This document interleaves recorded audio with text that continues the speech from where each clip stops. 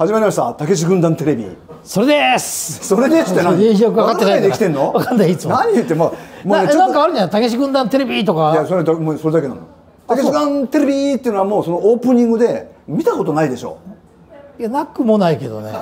重要なところは飛ばしてみるから。いやいやそんでここのところ舞台でね全然やれてなかったじゃないですか。はいはい。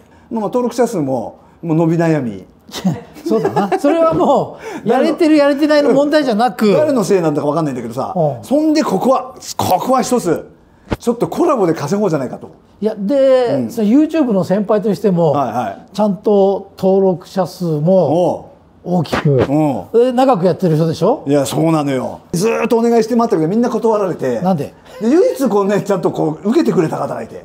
ありがたいね。ねえちょっとねこの本人目の前でちょっと言いにくいですけどそのゲストをお呼びして今日はドカーンと行こうと思ってます。いや、まあ、ごめんなさい。ドカンはないわ。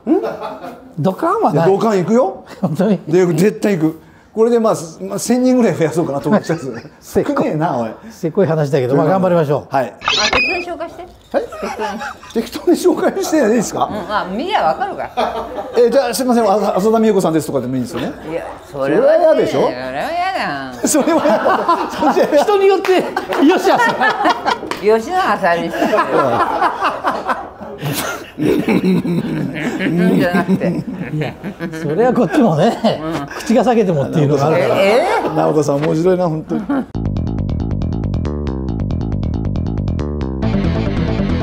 じゃあちゃん。と紹介しましょうよ何あ健直さん。ってあるそうでしょよそりゃそうよ、はい、やっぱそれやめて、なん。かボケるよっていう顔するの見るのやめてください。ボケない、ボケない。それ、これはもうオープニングで、僕は会社の社長ですから、僕はね。あ、そう、社長だよね。そうよそうですよ今社長なん。ですよそうなの、分かったもん。あの、どっちを選ぶかったら、こっち選ぶ。そうそうですよねそれはわかりますよはできない。いや、もう絶対無理ですこれマジで言ってますよね。マジで言ってる。すごい、絶対できないですき、本当できない。一応だって、一応軍団の中でリーダー格で年上で。うん、それはわかるの。でも、たけしさんが、いや、タカはダメだ、お前がやれって。そうそうそうそう。いや、で、僕も進め、たんですよ、一回。進めてもダメだって。俺も絶対やらないできないから、もうあのね、人が良すぎちゃう。え？人が良すぎちゃう。じゃあ俺が言うすぎ？ね 俺がうんじゃなくてうんじゃなくていやいやそんなことないようじゃないですかそこは？うん、あ。え？あ、なんていうんだろう。あの。もっとしっかりしてる感じ。あああなんかいいですいいです周りをそうですねバーってよく見てる。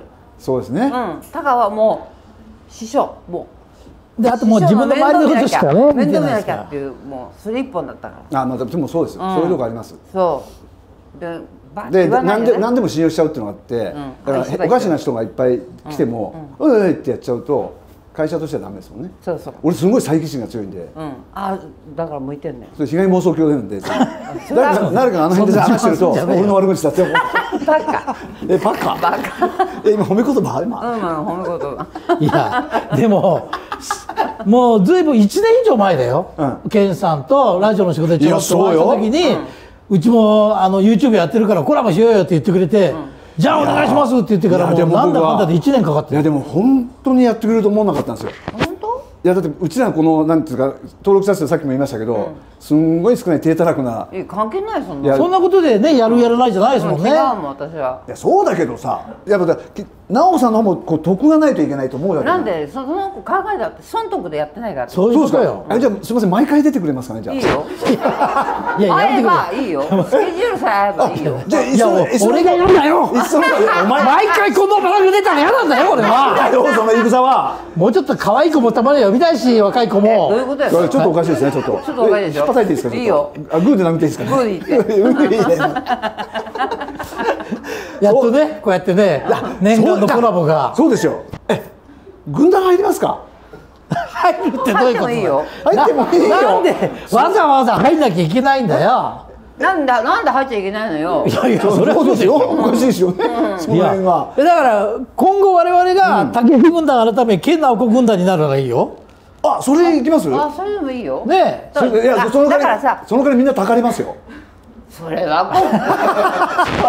それだってだってコンサートとかあると必ず僕らついていかなきゃいけないですよね。ついてって余計なことしますよ。あ俺でももう空でも歌える歌いっぱいあるよ。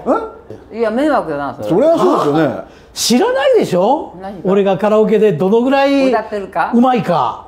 直子さんの歌。ね普通に歌ったらこの辺で歌ったらうまくないけど。ちょっとカラオケ屋さんでやってみない？YouTube? YouTube はい。いですね。え何歌うんですか？じゃあ。俺カラオケだったらうまく聞こえるんですよ。えじゃあ直子さん何歌うだのから何も。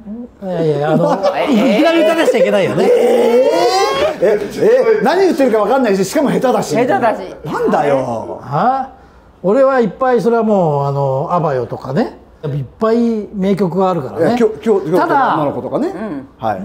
おいでよおいでよだよ。おいでよおいでよ京都の女の子。かわいいかわいいかわいいかわいい京都の女の子。よく知ってますね。いやいや自分の歌だ だってあれだとどうどうですか？えデビュー 2, 2曲目ぐらいですかね？いや大都会のやさぐれ女があってこれがデビューなのそう。その時びっくりしたんだから大都会のやさぐれ女って 大田舎の生真面目女だよ。真逆？大いなか。大田舎って言うなら大田舎って言うなよ。メクソ鼻くそなんだですよね。まあ大いなかだよ。大田舎でそそっちなは温泉場に近いじゃない、はいそうか。ねうちはそもうちょっと手前から山に上がってる。そうなんですでもほ国士峠に近いじゃないですか。マイナーだなおい。国士峠の途中だから。途中だからみんなあそこずあそこ上がってくるじゃないですか？長野ね、うん。長野って地地名なんですけどね。長野上がっていく時にあのあ坂道のとこに養豚場あったじゃないですか。あったあった。これであの辺は全部ほら浅田さんだったじゃ全部ないですか。朝だだから屋号でしか言わないの。そうそうそう。私は中道だから。あそうそうそうだ中道中道さんだよね。でうちのあおふくろのお姉ちゃんも浅田でああっちの方だったんでよく行ってたんですけどね、地域がもう同じ温泉場というかねそう。湯ヶ島というところで、あんな田舎からよくね芸能人になろうなんていう人が3人もいましたよね。っていうか本当だよね。いやっていうかな直子さんはななんですか？ススカウトそれとも自分で？自分で行ってオーディション受けて合格したの。あそうなんですか、うん。えそっちは？こっちはスカウトですよ。スカウトって言っても知り合いなんですよ。知り合いの弟が今の太田プロダクションの営業部長やってたんですよ。で独立するっていうんで、仕事手伝いに来いって言われたから、面白そうじゃないですか芸能界の仕事、手伝いに行ったら事務所の仕事かと思ったら、急に台本渡されて、タレントやれって言われて、ええとそれで一人じゃ困るなと思ってこいつ騙して呼んで、騙して急に騙されて。すぐ騙されるね。騙される騙される。すぐそういうところはね。そういうところはね、いやそれでじゃあもうよあまあよく面倒見てもらってたんで2つ違いなんですよ、で2つの先輩で、まあ、しかもあの、ね、あのお兄さんとかお父さんがそうそうそう逆らうわけにいかないんで。そうなんだよね。それで来いって遊びに、あじゃあ東京僕何回か行ったことあるからじゃあああのみんな連れて行くよって言ったら、お前一人で来いって言われて、それで行ったらその社長が、なんかこのザ芸能界みたいななななんていうんですかシルクのスーツ着てて。テッカテカのな？それではいはいはい。ブルーのテッカテカのスーツこいつが来た時。なんかピンカラ兄弟みたいなこう髪型してて「はいはいはい」みたいな。今の人に。でそ そんで僕が送り出した時に、高本いい男だったんで、本当にあの役者か歌手だと思ったんですよ。歌もうまかったんで、それで来たらタコがお笑いやってコンビが欲しいって言って、コンビにって呼んだんだよってから「え？いや僕遊びに来ただけで」って言ったら「いやいやじゃどうだね？やる気ないかね」って言って高本全く無口で何にも喋んなかったんですよ、何にも言わずに、ほん。でその社長がずーっとまくし立てて言ってきて、で最終的に僕は「いやすいません僕才能がないんで」って言ったらその社長がそのピンカラ兄弟の社長がピンカラじゃないっちゅう。の「才能はねなってから作っていくもんなんだよ」って言われてそうそうそう言われた瞬間になんかバカだから「へえ」と思って。本当バカだもんね。そうなんですよ。その本当に。ねそんなことはないよっていう、そそれはない。ないわ。ないってないそれはない。それを丸真に受けて、おじゃあこれは誰もが一度はね憧れる芸能界だから入ってみようかなって言って、来たのがきっかけなんですよ。だから僕は入りたくて来たわけじゃなくて。そうそう。騙されてそ来たんですよ。へそれがいつの間にかこんなことになっちゃってですよ。えいい私すごい嬉しかったもんそうそうですか？おお来たなーって。来たなですよね本当にね。でも普通これだけの大先輩でね、きちんとしたポジションがあって仕事してる方はまあ我々とかはあんまり相手にしなくて当たり前なんだ。よだってさいや。いつも気遣ってくれてちゃんとねいや会っても相手してくれるかそれはら。おかしいんだって芸能界って。そういうのおかしいですよ芸能界おかしい。んですけど。バカが多いのよ。バカバカバカここだけの話だけど。いやいや本当にそうなの。だだってさ自分一人で生きてるわけじゃないし。ね。まあそうなんですよねだからいろんな人に世話になっていろんな人と話して、はい。仲良くしてさあのステージ上がったらライバルになるんですよ、はいはいはいはい。でも裏は、うん。ね？まあそうですよね。ね？まあ、特に昔はなんかね特にそうですもんねだってね。だったけど、ええ。でもやっぱり同居なんて特にまあそうですけど。でも僕らからしたらいや直子さんは大スターなわけですよ。大スターって本当に大スターなんですよ僕らね僕本当に業界入って分かりますけど、例えばヒット曲を1個出すのがどんだけ大変かと思う、でどんだけのこの底辺にこう何万人の人がいるかっていう、そこでテレビ出てるなって本当ここの一握りぐらいじゃないですか。そこにいて何曲もヒット曲が出てて、でバラエティでも出てて、って言ったら俺はそりゃ口利けるような状態いくら田舎が一緒でも、田舎で仲良かったら別ですけど、でも一回最初一番最初に会った時に「なんとかなんとか」って話をしたら「すみません僕あれ」って言ったら「あんたねお父さんに言うよ」って言われてすっげえ嬉しかったんですよ。親父のこと知ってるんだと思っただけで嬉しくて。元の村長だからな。いやそれはおじいちゃんおじいちゃん おじいちゃんね。おじいちゃんがね、だからそんな人がこういうふうにこうなんかこんなこんな気安く話ができるかなっていうのはあったりするだってそ普通じゃんこれが。それ普通じゃないじゃん。健さんだって経験したでしょ？そういう普通の人もいるのかと思ったら、どうでもいいところで見え張ったりなんか若い目を潰そうとしたりとか、そうそうそう嫌な人もいっぱいいたじゃないですか昔。ましてや田舎のこと言ってそれ言わないでっていう言う人もやっぱ多いので今でもいるよいますかいますよねそうですよね黒歴史みたいなこと言ってね、どこ出身とか言わないではなんでそう調べりゃすぐ分かんじゃん今これでね昔と違って、でもそういう厳しい人たちがいっぱいいた中でもやっぱりちゃんと接してくれる先輩とか、いろんな人がいたから、まあ、我々もどうにかやってこれたっていう、でもね。そうですね。人との出会いですよね。そう出会い。それと人柄よ。人柄ですかね。人柄。わかりますやっぱり人柄見て。お前なんでそこだけ力入んだよ。がバレちまったよ人柄が。出ちゃうね顔に出るね。全然出てねえよ。全然出てねえよ。ビタ一も出てねえし。お会いした時っていうのは、軍団さんになってからそれともカーシタンス時代ですいやいや軍団になってからだって会社の時代って3年ぐらいしかないもん、で会社が結局結局会社が潰れて、で店新日新宿でやってて、そこあおでそうなんですよ。そこで借金があったんですよ、その前の会社が倒れるから、でその何もうあの焼け石に水なんですけど、金借りてきてくれって言われて、二人でサラ金本当氷菓子みたいなとこからうん買って一、人150万ずつぐらい借りたのかな、あその当時？で結局返したの多分3400万ぐらいで返してるんですけど、でその時に知り合いの人が店でやってそれでお金でそれ返してけって言われて日新宿でパブカラオケみたいなのやってて。でそこに東とかたけしさんが来るようになってで拾ってもらったんですだから。僕らはたけしさんに弟子入りしてくれって言って入ってないんですね。あそう。そうなんですよそれでそのまあ入ってで運だな。じゃあそうなんですよ。運運っていうのは自分ねでね引き寄せるもんだからね。そうですかね、うん。またね運がすごい強運なんですよ。そうね。引き寄せる運がすごくてネットワークも今今でもすごいんですけど、そう親父の力？そうそうそう親父の力もありましたわかんないですけどね。っていうかお前親父親父さっきはすごかったからね。お親父さんに聞いたからとかってお前はっきり言っただろ。だからそれでつながりでじゃんそうなんですけどね。だからって俺が入ったわけじゃないです知ってます、からねファミリーヒストリーに使ってもらえなかったの。いいや使って。裏が裏だから。やほら調べた NHK がちゃんと調べたら3ヶ月調べてすごいね。どこを切っても歯が出てくるから無理ですって言われたんですよ。違うって。そうですよ。いいね。そう。いいねそれ。湯ヶ島当時、だから岩島当時が仕切ってたんだよ。そうなんですよ。先生そうじゃないですよ、ねえ。子供のまだ学校湯ヶ島小学校ですか？そうそうそうそう。そうあよかった。話の方先が変わって。小学校だけど結構温泉場の方に遊びに行ってたのよ、はいあそうですか、うん、であのあそこのいろんな小屋があったじゃない？ありましたありましたはい。はいそう。だから小屋さんがやってたでしょ？そうそうそうストリップで劇場ちょっと覗こうかなと思ったら あ思ったのよ。ね。あの友達2 3人で、はいはいはいはい。女の子3人で、はいはい。そしたらねそこにこう前に立ったじゃないですか、はいはいはいはい。おじいちゃんダメだよ。あ言われたんですか、うん。だ見たいの？ダメだよ。もっと大きくなってからね。誰だろう言ったのあれいっぱいいたからね。いっぱい人がいたから。だからね古文がね。それはでもそっか懐かしい話だねもう。いやーえでも高校え一一年とか二年高校ですか？1年で辞めちゃった。ですよね。高校どこどこ行った南高。南高ですよ南高の商業会行ったの。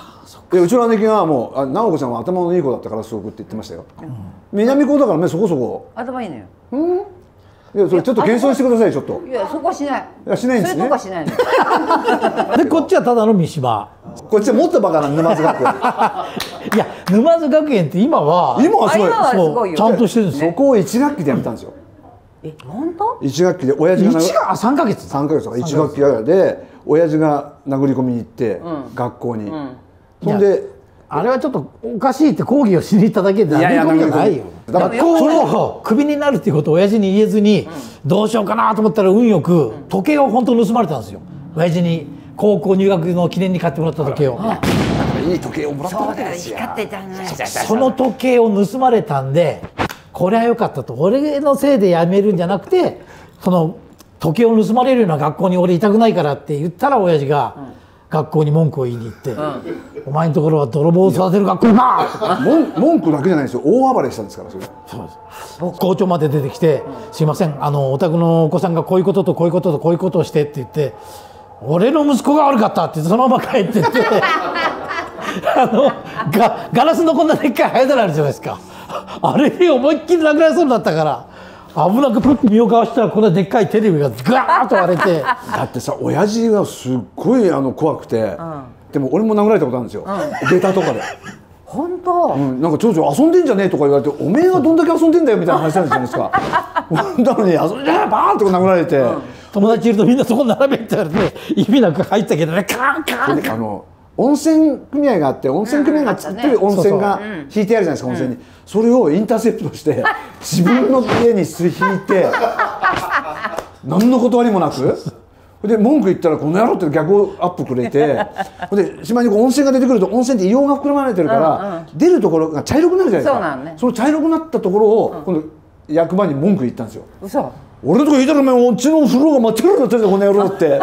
それお前温泉引いてるからだろみたいなもうす全て。でも偉いですよ。役場の人がなんかこんな熱い朝の袋みたいなの持ってきて、出口にあのお湯が出るとこキュッて縛って「これで大丈夫ですから」って言って。もうおかしいんだよね。誰も逆らえなかったっていうことあですからの頃でもよかったよね。栄えてて。そうそう。温泉場ってやっぱ結構人来てましたよね。すごい来てた。う湯ヶ島温泉結構だったですすごねかった一時だから軽井沢と比べられた避暑地みたいでって温泉があってって言われてもうだから宣伝しなくてもお客さんが来たっていう。そうなんだ。からそれにあぐらかいちゃったそうそうそう言ってました、こっち側の方の旅行代理店の人がそう。東北の方のやっぱ人はやっぱりすごい頻繁に来て「お願いします」って来るけど、やっぱ伊豆の人は来ないっていう。そう。本当にねそれと協力し合わないそうそうそこに言ってました。やっぱり言ってたねあの旅館で「じゃあこれ村おこしじゃないけど何かやりましょうよ」って言うと「いやうちはいいよ」ってそうなの。言ってて。それが良くないもう本当に今になってやっぱりみんなあちゃんとやんなきゃいけないんだって分かってくるんでしょうけどねうんあの当時はほっといてもいっぱい来ましたもんね人はそのね。時そうだからね売れた人もそうよ。売れた時にちゃんとしとかないと、あとはダメになるんです若い芸能界の人見て見るわけないから軍団の YouTube は。軍団の YouTube いやわかはねんないよ。半分あた足突っ込んでる人しか見ないんで。いやでも分かんない分かんない。あでも本当その通りですね、そういうことをちゃんと教えてくれる先輩がいればね、まあでもそんな話をするんじゃなくてさ、もっとなんだよ。いや明言しちゃったよ今。そうですよ本当に。いやだ健さんがまず、なんで歌をやろうと思ったのかなっていうのを俺は知りたいですよ。私ちっちゃい時から歌が好きだった。で歌はえで歌う場がなかったわけじゃないですか。子供の頃ありました？あの例えばねいや歌う場はあのこう家からうん。幼稚園行く時とはいはいはかい。坂をぐー下がってくるじゃないはいはいはい。すると帰り道とかあ人がいとないから。大きい声で。そこで普通に歌うぐらい歌が好きだったんですか？好きなの。え？え？すごいです。ええなんかむあ昔あのひばりさんが好きだったんですよね？そうひばりさん。そう言ってましたもんね。というかひばりさんの歌をよく歌って島倉さんの歌も好きだったはいしもうとにかくあの頃のもうテレビがない時代、ラジオから流れてくるのを台所で聞きながら歌ったら、あのうちの母親が「なんかそこはそうじゃないよ。こうやって歌うんだよ」って教えじゃあお母さんも歌好きでたんだ。音がちゃんと取れる人だったんだ、うん。へえ。小学校上がってもあの坂道で。はいはいはい。歌いながら行って。でマイクがどうのこうのではなくて。関係ないね。そうか。ただ好きで歌ってたんですね。そでそチャンネル登録を。よろしくお願いします。高評価。もねよろしくお願いします